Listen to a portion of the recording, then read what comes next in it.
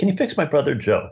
That's been an opening question, by the way, in some uh, from from a prospect. And I said, no, I can't fix your brother Joe, but I can uh, if you want to move forward, articulate some of the strengths of Joe and others on the leadership team, and then that cohort of next gens, we can look at what they need to do next. So one example is representative.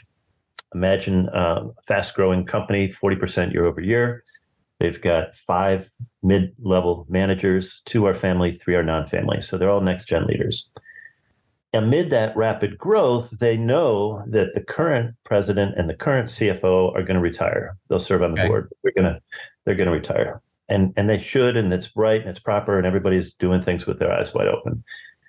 Well, the owner says, Doug, I don't know how to assess their capacities. Five leaders, two are my boys, 3 mm-hmm. are great, mm-hmm. well talented. How do we accelerate their careers? So the owners often need directionality and they need good consulting that's based on multiple perspectives.